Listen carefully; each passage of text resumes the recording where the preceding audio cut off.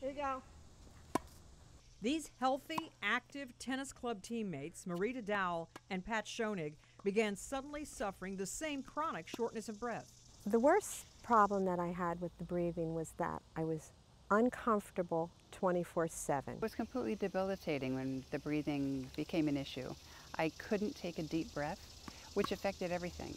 Both women had partial diaphragm paralysis, often resulting from shoulder surgery, as Dow had, or heart surgery. Dr. Matthew Kaufman developed a new minimally invasive way to treat it. Dr. Kaufman reconstructs the phrenic nerve, the nerve that helps control the movement of the diaphragm. He enters the lower neck and implants another nerve taken from the leg. The procedure is intended to restore function to a muscle that's paralyzed. And the muscle that we're talking about is the muscle of breathing. If there's an injury to the phrenic nerve anywhere along this pathway, either on the right or the left side, this half of the muscle will not work. It's, it's a miracle. Now I'm relaxed. I can do things. I can play with the kids.